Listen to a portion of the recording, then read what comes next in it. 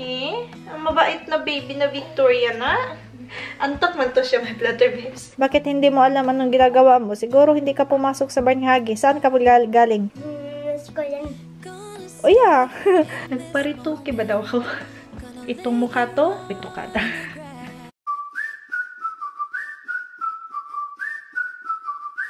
Hi, my platter babes! Welcome back to our channel!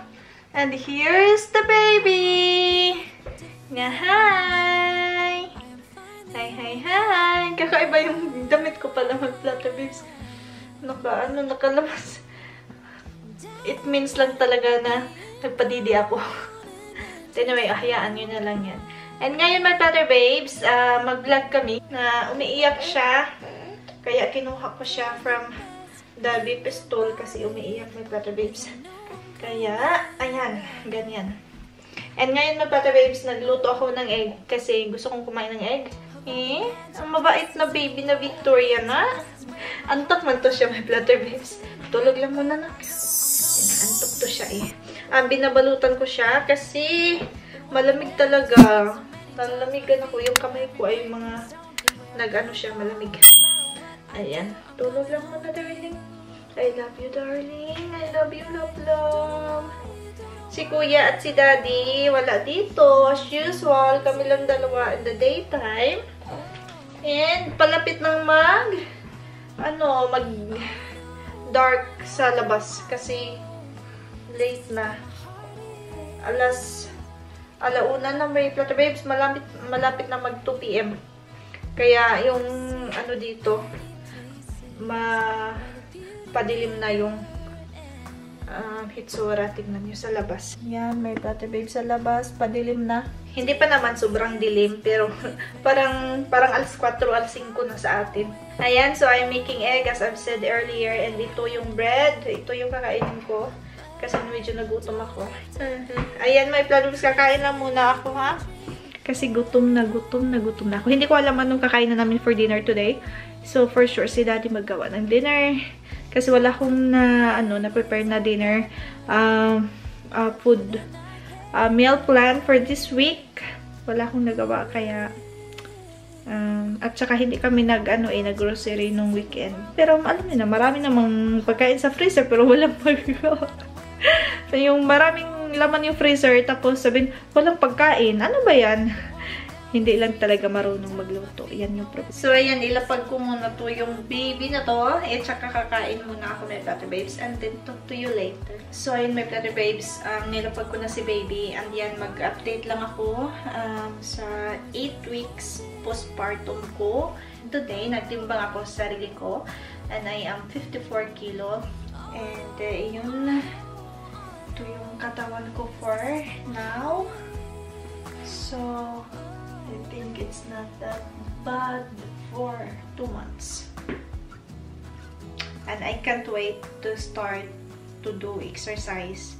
Kasi minsan parang yung katawan ko ay gusto ko, ang sarap talaga igalaw-galaw ng bongga.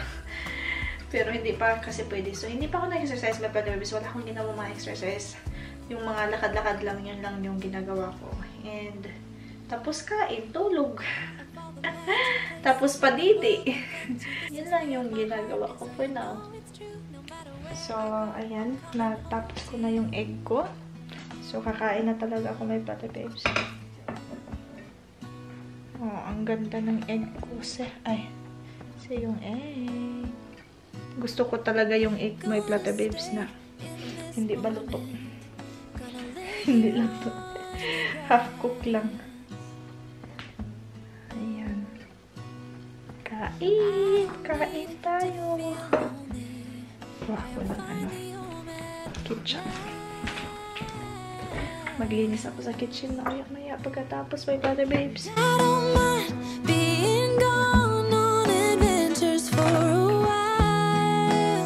Ayun, may butter babes. Um, sagutin ko yung tanong. May nagtanong sa akin talaga na kung nagparitoke ba daw ako?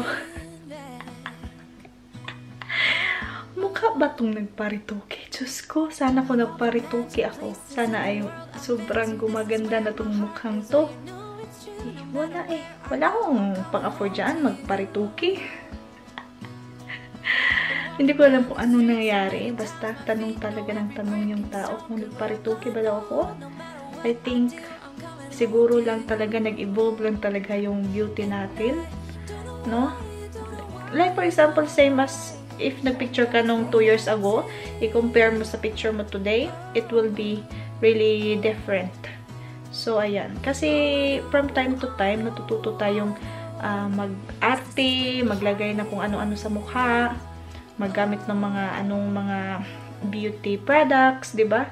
But that's it. Uh, yun lang yung mga pwede nating gawin or unless kung gusto mo paritoke. Pero ako hindi ako na paritoke mga babes. Kung magparitoke man ako, paliitin ko yung mukha ko. Yun yung gusto kong gawin sa mukha.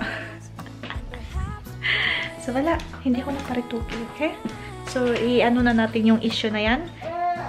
Itong mukha to, hindi to ritokada. So, ayan. Ikain na lang natin yan, my pate babes, yung issue na yan. Kain na lang natin, no? So, para sa'yo, um, sisi na na nagtanong. Hindi po ako nagparito, nagparitoke, ha? Ano lang, pinahaba ko lang buhok ko. Wala. May, iwan ko lang, baka nadala lang sa pag prayers talaga. Nadala lang sa prayers. Been walking down the street so many times my feet know every brick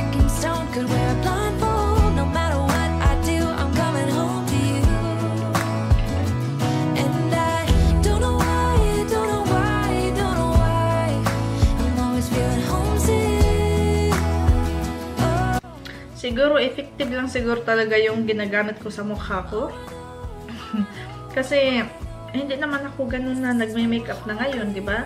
Sabi ko sa inyo, matagal na ako hindi nagme-makeup talaga ng bongga. Yung lagi ko lang nilalagay sa mukha ko is only mascara, um, lip tint, and lipstick. Yun lang yung gamit ko. Mascara, mascara, lip tint, lipstick. or lip tint po minsan dito. Tapos, maglagay ako ng concealer under in my eye. Kasi, ano man yung, yung nilagay ko na mascara ba, mag itim siya sa ilalim. Kaya, nilagyan ko ng concealer, yun lang yung ginagamit ko sa mukha. Hindi ako naglagal, naglagay pa ng mga foundation, mga pulbo, mga ano pa dyan. Wala na akong nilalagay. I don't need to feel lonely.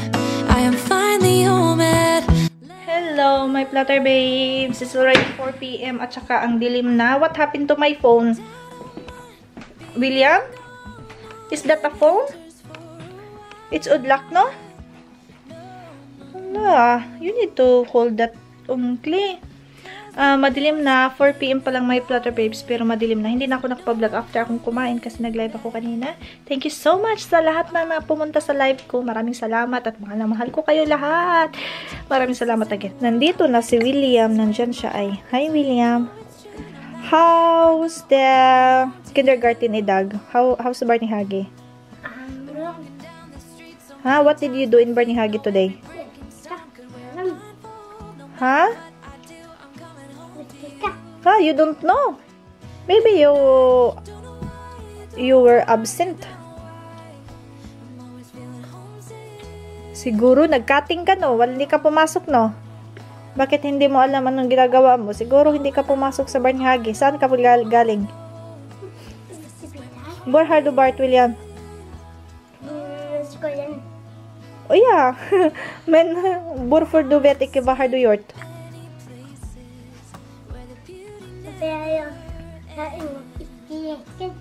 Hæ? Er Daniela og Alexa was not in Barnhage? No? Yeah? You didn't play with them? So, ayan may plate babe. Si baby, may sak masakit yung tiyan niya. Kaya kinakarga ko muna. And, hindi ko alam anong gagawin dinner ni daddy today. But, yeah, let's find out. So, we are having fish soup, my platter babes, with bread. And William don't like to eat the bread, so, ay, the soup, so just bread. Kain tayo! My There's flutter something else in it. Jag har fått la, ladder. Det kan ikke ha det i dag. Hvorfor? Så at da den oppe på mine blir toppet fram. Okay. Jeg har ikke inne. Okay. Nagdig, nagdig-up na. Nagdug-up, hindi pa ako nakakain. Kain tayo. Si baby, hindi ko maipalapag muna may carbs. Kasi masakit talaga yung tiyan niya. Kailangan. William! Mama is talking. Hey, did you wash your hands? Ish. Nakakain kami agad may platter babes kasi binigyan kami ni mami ng fish soup. Kaya, no need kami magluto today. May ano siya, laks, may white fish, and may shrimp. And, and vegetables. Edi duruyor bakacağım. Ikke sunda! Slop! You don't like vegetables? Hey, you need to be careful. So, ayan my platter babes. Naka-ano na ako ng buhok ko.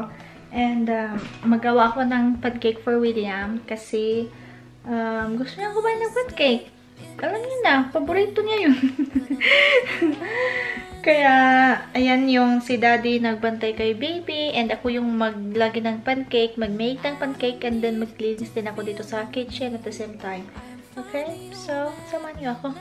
Mahilig pa rin ako mag-insert my platter. Gusto ko lang. Trip ko lang. Gusto ko lang talaga mag-insert-insert ng damit. Pero minsan masira kasi magpagpadidi. Wala kasi ako mga damit na yung damit pang padidi may platter waves kasi wala, hindi ako bumili. Iniisip ko lang, hindi naman magagamit afterwards. So, ito mga simple, mga normal clothes ko from before. Ito lang ginagamit ko. Pwede naman po yun, padidi. It's okay.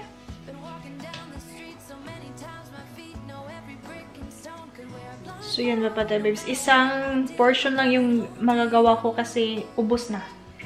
Kaya, kailangan naman na gagawa mamaya para may pancake kami for tomorrow. And, uh, ang dami naming, uy, ang bilis nag, ano, sa my platter, babes. Ang bilis na sira, oh. Kukunin natin yung sira. Hindi kasi ako kumain nito, my platter, babes. Kasi nung last time kumain ako, grabe talaga yung sakit ng tiyan ni Bacteria. Kaya ngayon, napagdesisyonan ko na hindi na ako kakain nito. Sa ngayon muna. Para hindi sumakit yung tiyan niya. Itapon natin tong mga ano, sira.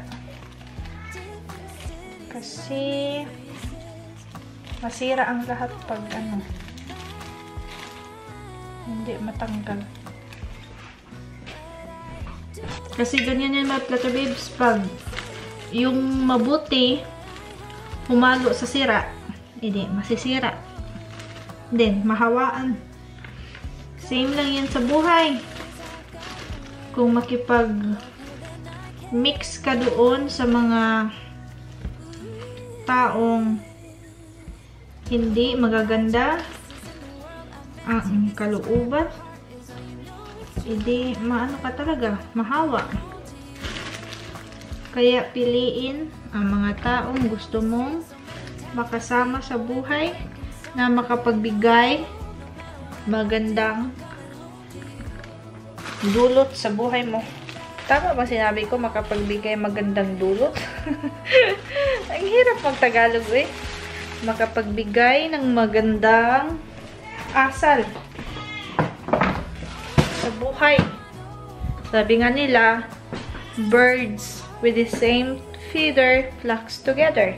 So, the same lang yan dyan sa, ano, sa fruit. Pag isama-sama silang lahat, magkahawaan silang lahat. Hindi masira silang lahat din. Sometimes kasi sa buhay, pag ah, mag-iingat tayo sa pagpili sa mga taong gusto nating maka- makasama. Kasi minsan, magsa sana ay maganda tayo or mabuti tayong tao pag na ano tayo doon sa iba. Like sa mga chismosa. Mga chismosang tao. Pag hindi ka chismosa tapos nakihalubilo ka sa kanila, so maging chismosa ka na rin. Kaya mag-ingat-ingat kayo kung sino yung mga taong sasamahan niyo. Kung gusto niyo mabuting tao kayo, edi hanapin niyo yung mabuting tao rin na full of positivity ang utak para kayo din ay maging positive. Kung gusto niyo maging positive, so don't mix your life to the negative. Don't mix yourself to the negative people. Yan lang yun. Or if ever hindi talaga maiwasan na may negative, so try your best to be still in positive. Huwag magpahawa, okay?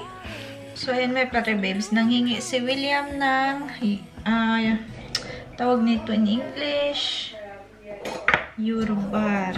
Ah, strawberry. So, gawa natin siya ng strawberry. That's good for him.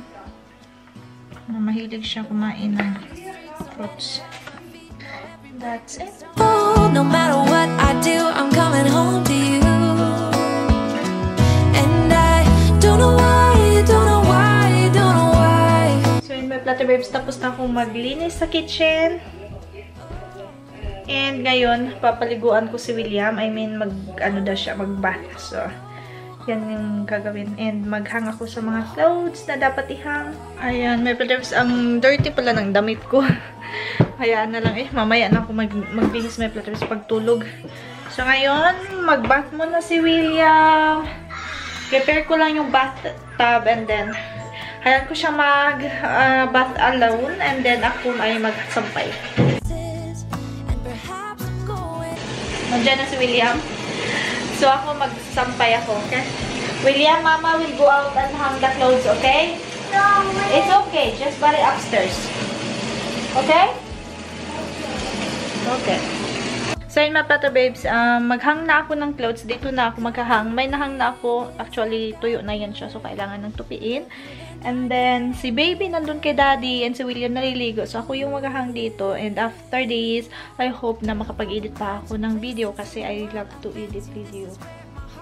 Right now. Pero hindi ko lang magawa pa muna kasi I need to hang this. and then, may um, nalaban pa ako ng mga towels doon sa machine na tuyo na. So, I need to take that as well.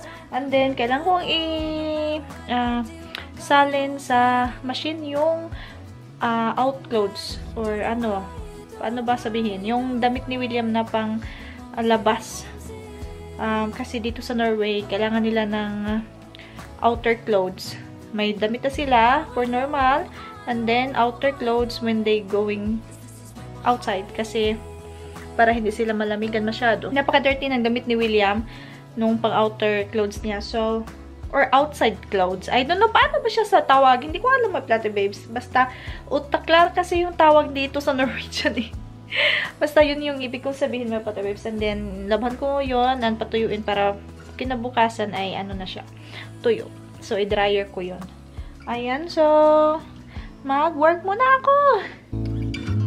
All the magic places in the world I've been to, this is where my heart is. Oh, you know it's true, no matter what. My Plata Babes, tapos na akong magsampay, as you can see. So, ngayon, bababa ako.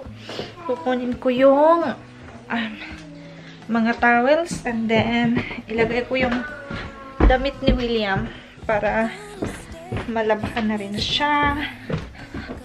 And then, yan, hindi pa tapos si William maligo, my Plata Babes. So, mga tuyo na to. Ito yung ibig kong sabihin ng Butter Babes na outside clothes ni William. Tingnan niyo ang dumi. Grabe.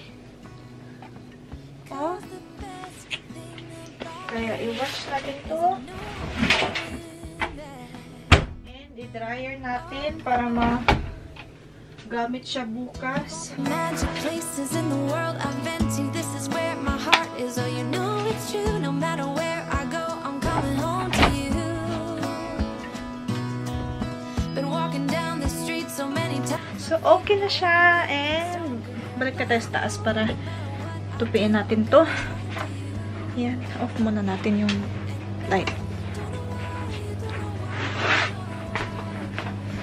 Kuha tayo ng night clothes ni William May Platter Babes. Pantulog. Ito. 'Cause This is where my heart is. Oh,